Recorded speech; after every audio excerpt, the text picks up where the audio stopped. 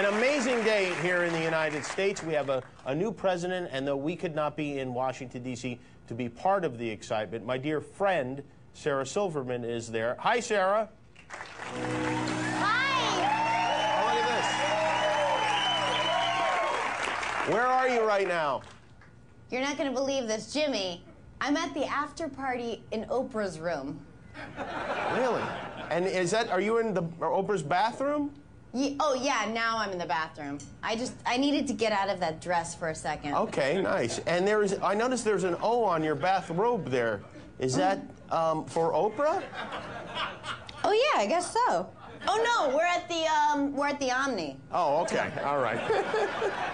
so you've been there. I know you've been there all weekend, and for all the festivities, ha- have you had a chance to meet Barack Obama? Uh yeah, Jimmy, we drove here together. Oh, you did. All right. I can see you being sarcastic, but um, you know, I well, I saw your interview with with Keith Olbermann earlier tonight, and you did a fantastic job with that. Thank you. Yeah, you know, I know you don't like to toot your own horn, but I was actually No. surprised to see how many nice things you had to say about President Bush. Yeah, yeah, I did. Yeah. I really did. I, I think it's important to to respect the past if we're going to, um, I don't know, something in the future. Yeah, I can't right. think of anything on the top of my head. Well, for those who didn't see it, here, I think you, you'll enjoy this. This is Sarah Silverman earlier tonight with Keith Olbermann on MSNBC. Roll it. Sarah Silverman joins us from Los Angeles. Sarah, your, your great schlep video, uh, I think it single-handedly secured victory for Barack Obama in this election. well, Thank you. I don't think I deserve all the credit, but I'll certainly take it. So, thank you. and now, of course, after eight long years, we finally say farewell. Perhaps uh, more appropriately, we, we say good riddance to George W. Bush. And, and looking back, uh, how would you rate his presidency? Uh, Keith, I'd, I'd have to give it a 10. Excuse me? Yeah, I, out of out of 10, right? Yeah, 10. You're, you're talking about a man who abandoned the hunt for bin Laden to start a needless war based on lies and. Keith, you're embarrassing yourself. Look, did he do some effed up stuff? Maybe. Uh, did he pull some some crazy S? Sure, I guess. But you're only seeing him through one perspective. You're only seeing him through your eyes. Well, what part of myself would you suggest I see him through? How do I explain it so the liberal media can understand? Uh, I got it. Let's take a look at some of the true accomplishments of one of America's all time most recent presidents. You know, any idiot can crap all over George Bush, but to see the good he's done takes a genius. A super adorable genius. I mean, think about it. He made the nuclear arms race fun again by calling it nuclear. And I issued a statement saying that we would work for a nuclear weapons free Korean peninsula. It's so cute, like Piscetti or bathing snoot. Too small of an accomplishment? Fine.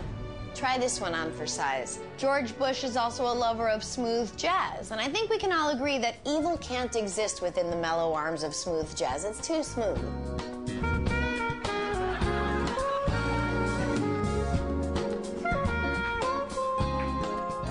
You know what else? People spend so much time criticizing Bush for the terrible things he did do. What about the terrible things he didn't do? He didn't blow up Canada. He didn't fart all over your food. He didn't punch a giraffe in the face.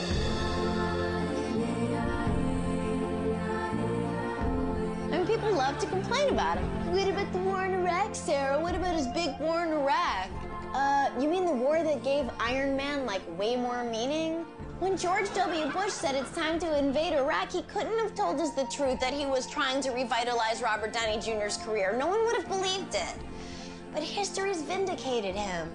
And that's the key to understanding misunderstood leaders. I mean, take Hitler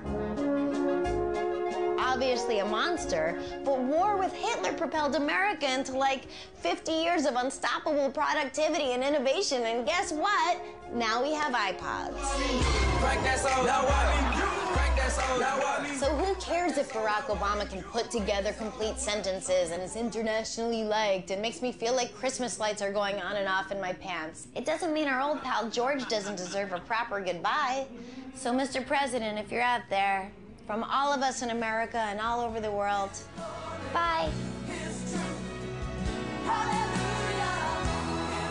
Bye. Bye. Bye. Bye. Bye. Bye, human cancer. Bye.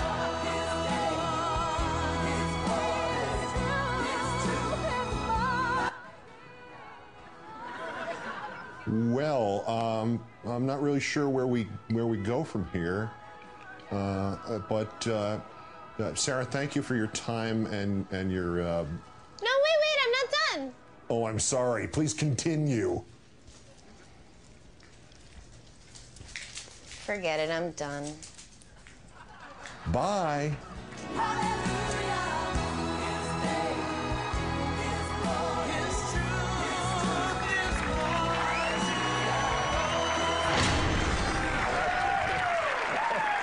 Uh, that was great job, Sarah. Thank you very much. Sarah? What? Uh, never mind. Sarah Silverman, everyone. We'll be right back.